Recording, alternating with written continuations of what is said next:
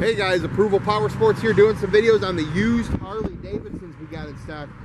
We've got over 300 pre-owned Harley Davidsons in the showroom for sale. Uh, this one here, 2009 Road King with all the extras, windshield, backrest, luggage rack.